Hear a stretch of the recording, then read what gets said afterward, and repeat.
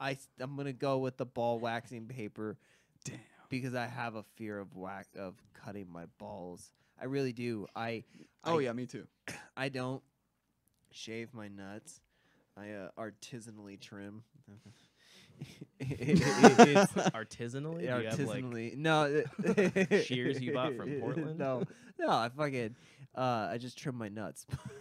but I when I got my vasectomy, I had to shave my balls. Like they said, like you have to do it really good. And Yeah. so like I had never done that before. Man, like getting in there and trying to like strap down every surface of your nuts to like fucking shave it is just the the most Yeah. nightmare scenario ever. at, and I'm like, at our age, and- there's some wrinkles. You gotta spread them out and flatten Yeah. them, and then you gotta yeah. shave. And you're like flattening them over your nut, which like it's this really thin skin, and you're like, what if I like slip? Because you got like your head down at like an awkward angle, you got your leg up on a stool, all the blood's rushing to your head because you've got you've been bent over for five minutes.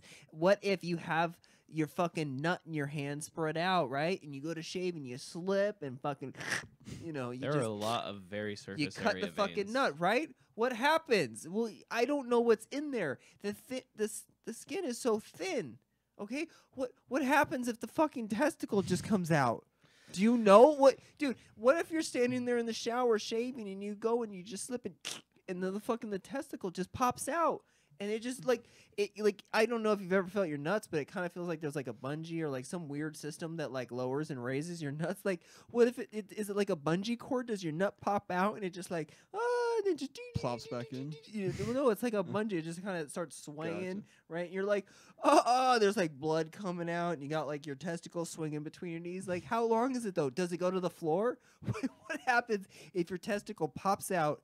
bounces off the fucking shower floor and you're like holy shit right you, you obviously want to get out of the shower like So you a mean- soggy walnut. yeah, dude And you might slip on it. dude yeah you're like getting out of the shower on the you know all the fucking blood and waters mixing as you drag Yeah. your testicle out of the shower and you're just like what do i do you just call 911 and like dude the paramedics are just gonna get there and they're just gonna see you like the fucking like the world war ii vet who just had like their stomach torn open their entrails are out and they're like trying to stuff it back Oh in yeah. they're gonna find you like doing that with your nut, like trying to push it back in.